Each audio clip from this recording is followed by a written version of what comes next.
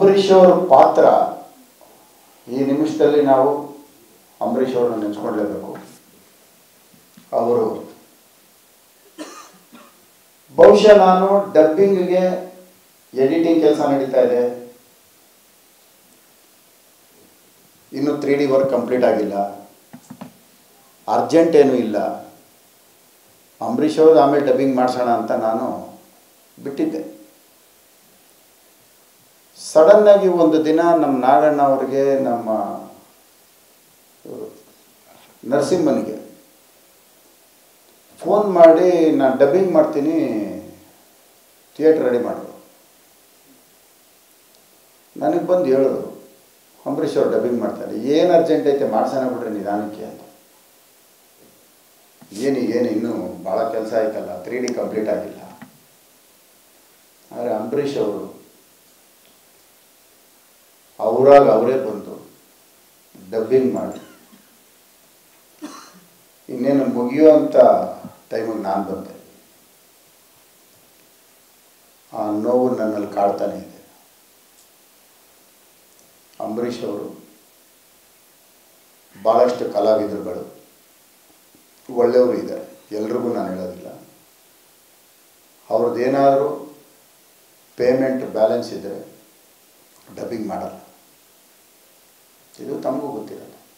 ನಾನು ಅಂಬರೀಷ್ ಅವರಿಗೆ ನಾನು ಯಾವುದೇ ಒಂದು ಹಣನೂ ಕೊಟ್ಟಿಲ್ಲ. ಬಂದು ಬಂದು ಡಬ್ಬಿಂಗ್ ಮಾಡಿಕೊಟ್ಟಿದ್ದಾರೆ. ಈಗಾಗತ್ತೆ ಅಂತ ನನಗೂ ಗೊತ್ತಿಲ್ಲ.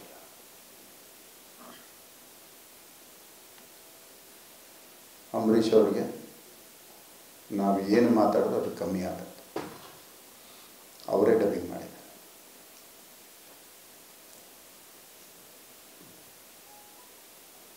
ಬೇರೆ? ಟೂ ಡೇಸ್ ಮಾಡಿದ್ದಾರೆ. ಟೂ ಡೇಸ್ ಮಾಡಿದ್ದಾರೆ. ಅವರ ಪಾತ್ರಕ್ಕೆ ಪ್ರಾಮಾಣಿಕವಾಗಿ ನ್ಯಾಯ ಒದಗಿಸಿ ಆ ಭೀಷ್ಮರ ಪಾತ್ರ. ಅವರ ನೋವು ನಾನು ಕಣ್ಣಿಂದ ನೋಡಿದ್ದೇನೆ. ಆ ಪಾತ್ರ ಮಾಡೋಕ್ಕಾಗದೇ ಇದ್ರು ಸಹ ಹೆಲ್ತ್ ಸರಿ ಇಲ್ಲ ಅಂದರೂ ಸಹ.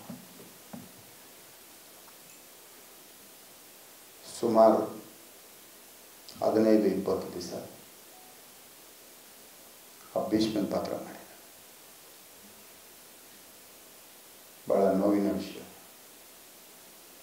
ಅದು ನನ್ನ ಸಿನಿಮಾ.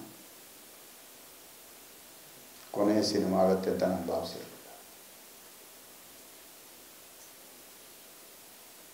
ನೆನ್ನೆನೂ ಸಹ ನಾನು ಸಿನಿಮಾ ನೋಡಿದಾಗ ಯಾಕಂದರೆ ಫೈನಲ್ ಅಂತ ಏನು ಕರಿತೇನೆ. ನಾವು ನೋಡಿದಾಗಲೂ ಬೇಜಾರ. ಆ ಸಿನಿಮಾ ನಾನು ಮಾಡೋಕ್ಕಾಗಲ್ಲ ಅಂತ ಭಾಳಷ್ಟು ಹೇಳಿದ್ರು.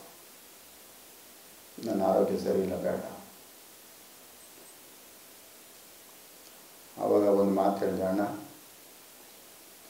ಯಾರಾದರೂ ಒಬ್ಬರನ್ನ ಕಲಾವಿದರ ಹೆಸರನ್ನ ನೀವೇ ಸೂಚಿಸಿ ಅವರು ನಮ್ಮವರಾಗಿರ್ಬೇಕು ಈ ಸಿನಿಮಾ ನಾನು ಮಾಡ್ತಾ ಇರೋದು ನಮ್ಮ ಕಲಾವಿದರಿರಬೇಕು ಅಂತ. ದಯವಿಟ್ಟು ಭೀಷ್ಮ ಪಾತ್ರ ತಾವು ಮಾಡಿ ಅಂದಾಗ ತುಂಬ ಕಷ್ಟ ಬಿದ್ದು ಮಾಡಿಕೊಟ್ಟಿದ್ದಾರೆ. ಆ ಪಾತ್ರಕ್ಕೆ ನ್ಯಾಯ ಒದಗಿಸಿದ್ದಾರೆ.